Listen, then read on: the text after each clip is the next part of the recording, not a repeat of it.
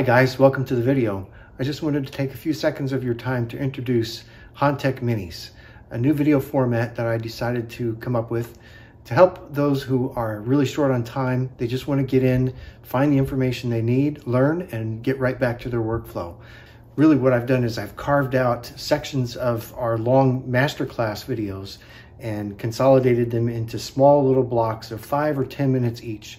And the idea is they cover one topic and they allow you to learn that topic with practical examples and then get right back to your workflow. So let me go ahead and show you how to locate these videos on our YouTube channel, youtube.com forward slash at HahnTech. Okay, all one word, at HahnTech. And then if you want to go ahead and look at the playlists, you go ahead and scroll down here and you see playlists right there. Okay, so I'm going to tap that with the playlists and that's going to open up our playlist. Okay, so you can see all of the playlists that we already have loaded here on the YouTube channel. And these are the minis, everything that begins with the HT minis. Right now I've got three playlists set up. And let's go ahead and take a look at this one that is actually completed. And what you can do then is you can hit play all and you can watch them in a series or you can pick a specific one and just watch the one that you need to watch that covers the topic you're trying to learn at the time. So now let me show you how to also navigate to our website and find these videos on our website. So here we are at hahn-tech.com. And what you do is you go to free video tutorials and you select Thinkorswim tutorials. Then from there, you go ahead and locate the menu at the left-hand menu right here. That's called uh, TOS Minis. It stands for Thinkorswim. So you go ahead and open that up. And if you expand that, you'll see as new videos are added to the Hahn-Tech Minis, they'll be added here and they will all appear here. So that's how you navigate from our website or from our YouTube channel. And I want to thank you so much for your support. And I'm really excited to be able to present this new shortened video format so that you can get what you need and get right back to work. Okay, so let's dive right in. And just a quick heads up before we get started, I wanted to let you guys know that we're starting from the point of having the condition already built. And this was constructed in a previous video. And so I'm going to point you to that other video in case you have skipped it or you're not familiar with how to use the condition wizard. You can see here we've got a condition consisting of four different elements. They were created with nothing more than clicking the mouse. You didn't have to write any of this code at all and I'll point you to the video which shows you exactly how to set this up so that when you get back to this video you can continue on and follow along in this example and learn how to apply it to the other tools on Thinkorswim. And you'll find that video here on our YouTube channel. So this is the Hahn-Tech YouTube channel and if you go to playlists then you go ahead and navigate to the condition wizard right here. So go ahead and click view full playlist and right now we've only got one video loaded, but this is the original video in the series, and this is the one that you would want to watch before viewing any of the others in this series so that you understand how to set up that condition. But by all means, if you already know how to work the condition wizard and you can build that condition with the four different elements as I demonstrated in, in the first screenshot, then you don't need to watch the other video. You can just continue on and follow along with the examples here. The simple moving average is less than close. Simple moving average from one bar ago is less than the close. From two bars ago, from three bars ago. So you see we've stacked all of these conditions together so that they all must be true in order for the overall condition to be true.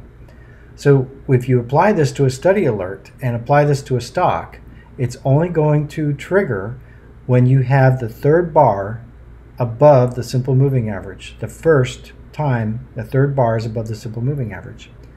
Okay, we'll let that sink in a little bit, and then we're going to show you how this is applicable to the other areas of Thinkorswim. Notice that we can still access the ThinkScript editor. So I'm going to go ahead and click on that. This is the code that was generated by simply clicking the mouse and updating some values.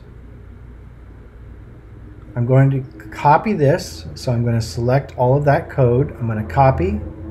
And now that this is copied to my clipboard, I can go ahead and cancel the study alert.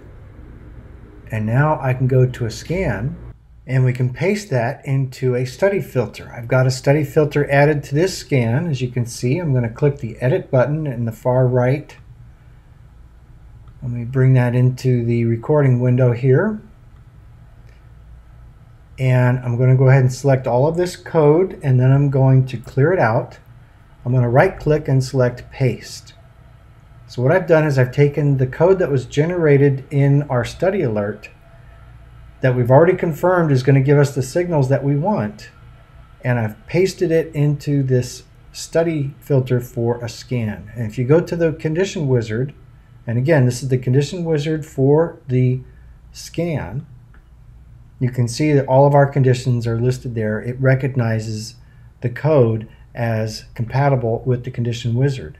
And if we click OK and then click scan, we'll find all of the stocks in which that scan evaluates to true.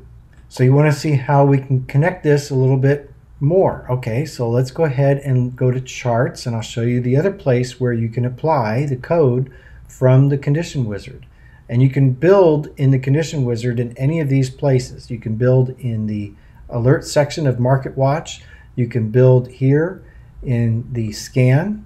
So once again, you've got the add condition and you can go ahead and edit all of your conditions right here. So the same process that you use in one location is available in many locations. So let's go to charts. Let me go ahead and open this up. I'm going to maximize this chart grid. And then I'm going to go to studies, edit studies, and I'm going to go ahead and remove all of these studies and hit apply. I'm going to go ahead then and create a new study. And I'm going to remove all of this code here. I'm going to right click and select paste. There you go. I've just created a custom chart study using code that was generated from the condition wizard in the study alert section. So the code is compatible across many areas of the platform. I'm going to click OK and then apply and then click OK.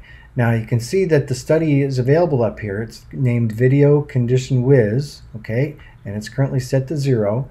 Let's go ahead and add some more to this chart. We'll go to Studies and we'll go ahead and search for the simple moving average and we'll add that.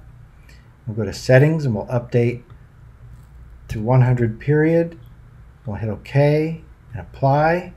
Now, what we want to do is we want to see that condition wizard uh, code just as we saw it in the study alert. So let's go ahead and click and drag that down into a lower sub subgraph. Hit apply and OK. So now you can see that at this location, you've got a true, a little spike here from false to true for the third bar above the simple moving average. And what did we have for our scan results? We had, okay, let's just grab this one, CVS. So the scan result is saying that the current daily bar of CVS is the third bar above the 100 period simple moving average. So we'll go to charts and we'll change this symbol to CVS. And you can see the spike at the very far right of the chart. And you can see that yes, indeed, it is the third close above the simple moving average.